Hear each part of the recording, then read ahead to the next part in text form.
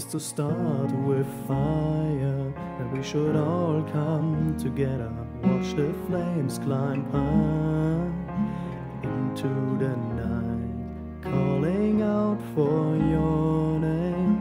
Prepare and we will watch the flames burn on and on the darker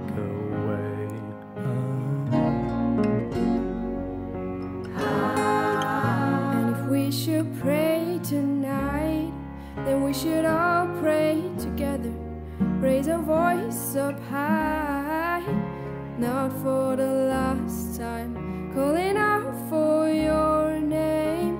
Prepare and we will watch the flames burn on and on the darker away. Salvation comes upon the sky. Now I see fire